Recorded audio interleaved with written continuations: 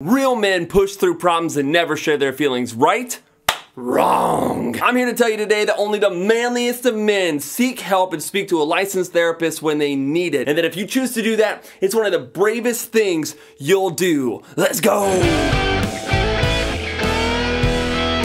My name's Trevor Hunt. If you're new here, thanks for coming. If you're not new here, welcome back. Today, we're talking about how talking to a counselor can make you even more manly so you can conquer your inner emotional weaknesses and become the strong, tough, wow, you want to be. Today, I'll share with you three reasons counseling is one of the manliest things you can do. Reason number one, counseling helps you conquer your inner weaknesses. You can't be truly strong unless you're strong on the inside. A real man has control over his emotions. Boys get upset and throw fits. You got anger problems? That's not manly. That's not.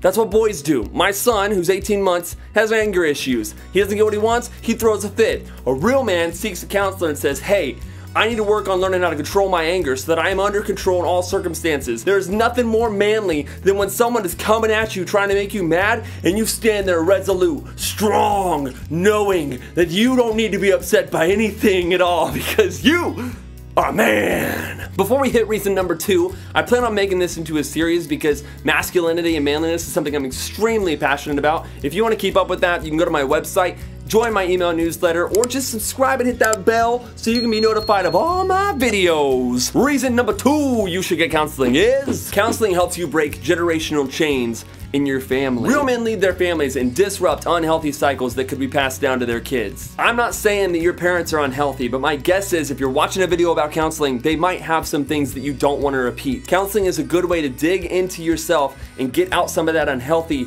behavior. Even if you think, you know what, dude, you don't know me, you don't know my family, my parents are perfect. Well, then it's your job to take that torch even farther. You want to push yourself to the limits that you don't even understand, and counseling can help you reach that limit or bust through that limit. Listen up, men. Protect your children and your spouse from meaningless mental health issues. You need to break these chains. Chains like alcoholism, divorce, drug abuse, addiction, anger. These things need to be stopped, and they can only be stopped by one person you. Your kids will follow in your footsteps. They will do as you do, not as you say. Reason number three counseling helps you impact the world. I don't know about you, but I feel called to mission in life.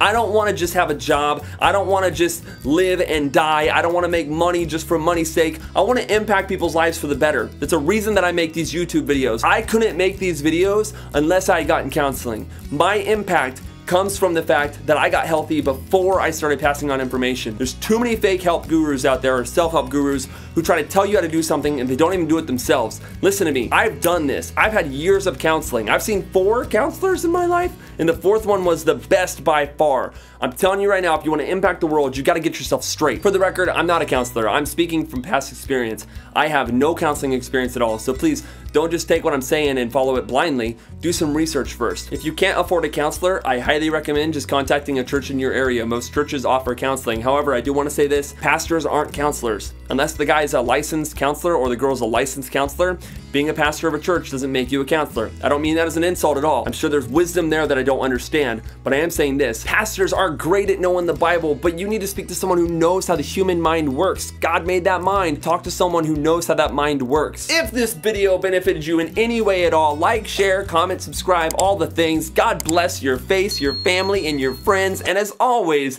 take it easy.